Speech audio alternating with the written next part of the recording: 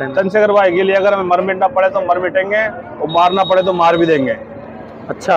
ये हम चंद्रशेखर भाई के अंधभक्त नहीं है लेकिन हम चंद्रशेखर भाई को ये मानते हैं कि वो हमारे मसीहा कहीं ना कहीं।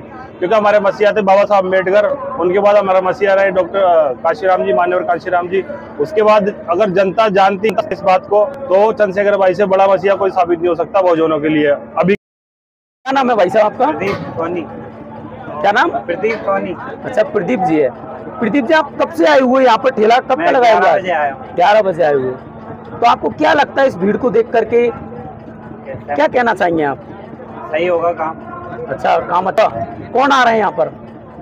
चंद्रशेखर आज़ाद। अच्छा चंद्रशेखर आज़ाद। जानते हो आप उनको चंद्रशेखर को? देखा है आपने कभी? नहीं देखा तो नहीं है। अच्छा नहीं देखा है। तो आज आपको देखने का भी मौका मिलेगा। हाँ जी।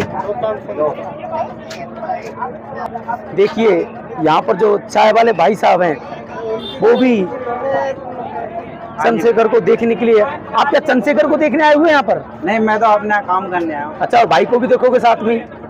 हाँ देखने का मौका भी मिला है आपको। क्या कहना चाहेंगे आप चंद्रशेखर भाई के बारे में? बढ़िया है। अच्छा हाँ। और क्या कहेंगे? गरीबों का मसीहा है वही आवाज़ उठा अच्छा गरीबों की जो आवाज़ उठाने वाले वो केवल चंद्रशेखर भाई हैं। ठीक है तो। क्या नाम है आपका भाई? जी मेरा नाम सोनू टैगोर और हम श्योपुर मध्य प्रदेश से हैं। अच्छा मध्य प्रदेश से। आप राजस्थान जयपुर में आए हुए जी। अच्छा काफ़ी सामना करना पड़ा होगा आपको रास्ते में। सामना बहुत सामना करना पड़ा भाई साहब। ट्रेन में जगह नहीं मिली गाड़ी पंचर होगी दो बार तो अब करे क्या हम? अच्छा फिर भी आप फिर भी आए। आए हो? इतना जुनून है चंद्रशेखर भाई के लिए हमारे दिल में कि अगर चंद्रशेखर भाई सात समुद्र पारी बुलाएँगे तो हम वहाँ भी पहुँचेंगे। क्या बात है चंद्रशेखर भाई यदि कहाँ बुलाएँगे? सात समुंदर पार बुलाएँगे समंदर पार बुलाएँगे सात समुंदर के पार भी आप भाई के लिए तैयार हैं। अच्छा और क्या कहना चाहेंगे आप चंद्रशेखर भाई के बारे में? चंद्रशेखर भाई के लिए अगर हमें मर मिटना पड़े तो मर मिटेंगे और मारना पड़े तो मार भी देंगे। अच्छा ये हम चंद्रशेखर भाई के अंधभक्त नहीं है, लेकिन हम चंद्रशेखर भाई को ये मानते हैं कि वो हमारे मसीहा कहीं ना कहीं। क्योंकि हमारे मसीहा थे बाबा साहब अंबेडकर उनके बाद हमारा मसीहा रहे डॉक्टर काशीराम जी, मान्यवर काशीराम जी। उसके बाद अगर जनता जानती इस बात को तो चंद्रशेखर भाई से बड़ा मसीहा कोई साबित नहीं हो सकता बहुजनों के लिए, अभी के टाइम में। अच्छा।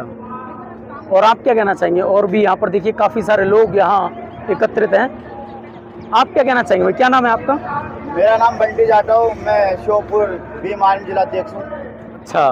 आप देख लो राजस्थान में देख लो या एमपी में देख लो जिस तरीके से दलितों के साथ अत्याचार हो रहा है भाजपा के राज में और कांग्रेस के साथ में बहुत जल्द आज़ाद समाज पार्टी इनको घर से उखाड़ फेंकेगी और बहुत अच्छा कार्य चल रहा है मध्य प्रदेश में तो आपको पता है भोपाल में जिस तरीके से जन सैलाब देखा था भीम आर्मी का कार्य बहुत अच्छा रहा। और आपको पिंड पिंड ज़िले की बता दूँ कुछ दिन पहले कुछ युवाओं ने एक एससी वर्ग के लड़के को बाँध के पीटा था।